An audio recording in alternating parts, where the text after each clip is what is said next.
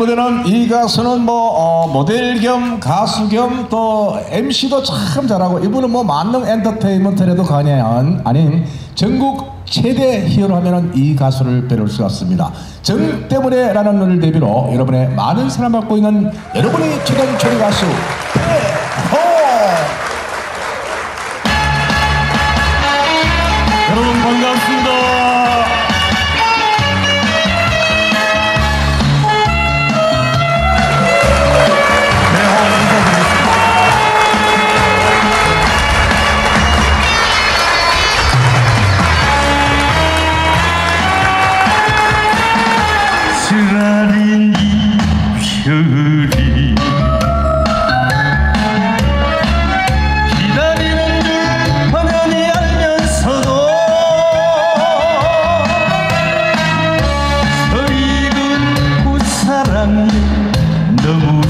salut.